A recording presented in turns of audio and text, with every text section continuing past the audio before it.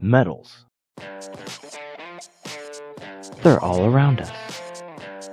If we knew more about the way metals broke, then the structures of the future could be safer, more efficient, and even less expensive.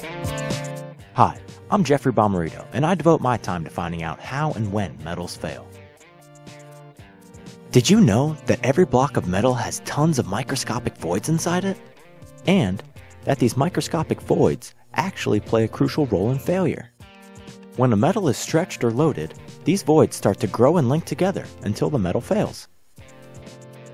If we look at a copper bar being pulled in tension, we see that it behaves the same. In the center region, it necks down until eventually it fails. Now you might ask, what about those voids? How do we know they're the reason for failure? Well, one way we know is by looking closely at the fractured surface. The surface has many dimples, which is a sign that voids have grown and linked together. Now, if we zoomed in on a chunk of metal, it might look like this. If I zoomed in the same amount on a human hair, it would look like this. But if I wanted to analyze this chunk of metal, it would be quite difficult because there are many voids and they're all scattered randomly. In my work, I look at one void at a time and using a computational model, I look at how it responds to many different loads. I am then able to stitch together the responses of individual voids to understand how the metal will behave on a much larger scale. The simulation you see here is another tension test, where this notched bar is pulled until it fails.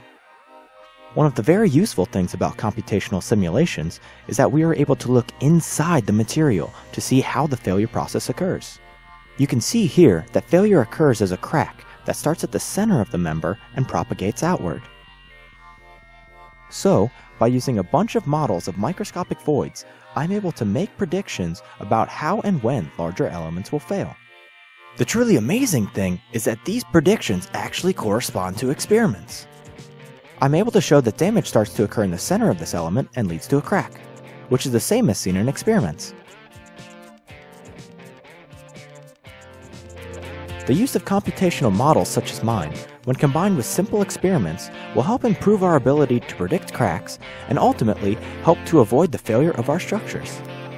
So, as we move into the future, our use of metals will be increasing in efficiency, economy, and safety. If you liked my video and want to learn more, check out my poster on posterhall.org slash 2013